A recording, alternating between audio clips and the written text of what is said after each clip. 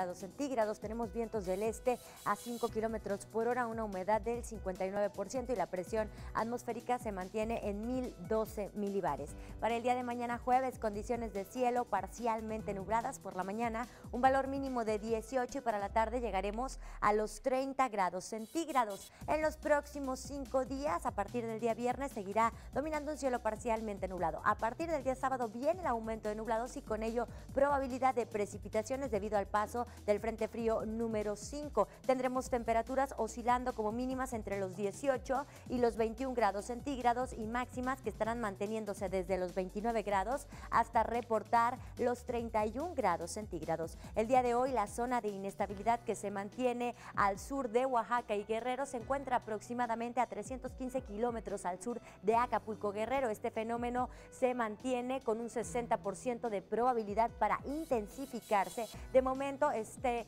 fenómeno se mueve hacia el noroeste a una velocidad de 16 kilómetros por hora, por hora y sus bandas nubosas alcanzan sectores del occidente y sur del país con presencia de nublados y precipitaciones de moderadas a intensas desde el estado de Jalisco hacia el estado de Oaxaca. Tenemos también al Frente Frío número 4 que todavía se localiza como estacionario extendido desde el oriente de la península de Yucatán hasta los límites de Tabasco y del estado de Veracruz Cruz, este sistema estará manteniendo todavía inestabilidad con lluvias de fuertes a intensas para los estados que conforman la península de Yucatán, sobre Tabasco, sobre Chiapas, Oaxaca y al sur del estado de Veracruz. El nuevo Frente Frío, el Frente Frío número 5, se espera ingrese esta noche al noroeste del país. Se moverá muy lentamente hacia el sureste y a lo largo de su paso estará generando presencia de nublados con precipitaciones de ligera a moderada intensidad, además de una disminución en las temperaturas mínimas por la mañana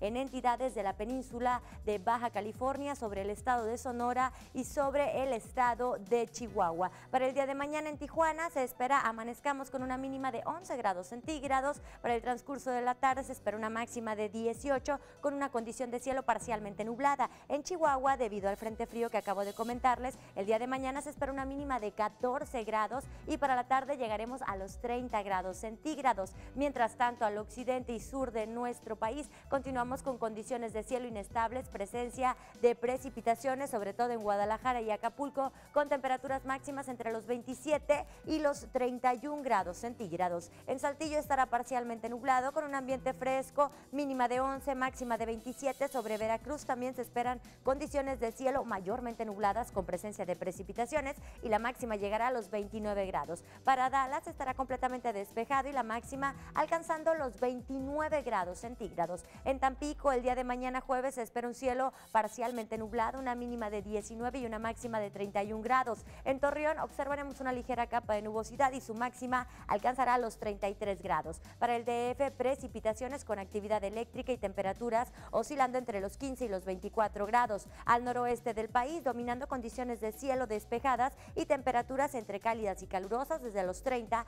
hasta reportar los 32 grados centígrados. La salida del sol para el día de mañana se espera a las 7.36, la puesta será a las 7.18. Esto nos estará dando un total de luz solar de 11 horas con 42 minutos. Este viernes 11 de octubre a las 18 horas con 2 minutos se espera cambiemos de fase lunar a cuarto creciente. Hasta aquí con los detalles del pronóstico del tiempo. Yo los espero más adelante, por supuesto, con más información.